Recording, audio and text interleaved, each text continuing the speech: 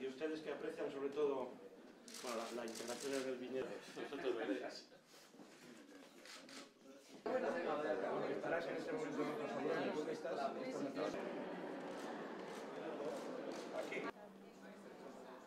Un proyecto de recuperación de raíces, pero de proyección de futuro.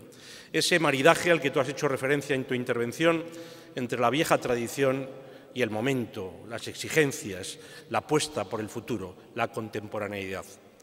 Estamos hablando de la cultura del vino, estamos hablando de la cultura del arte, estamos hablando de la cultura y el monumento.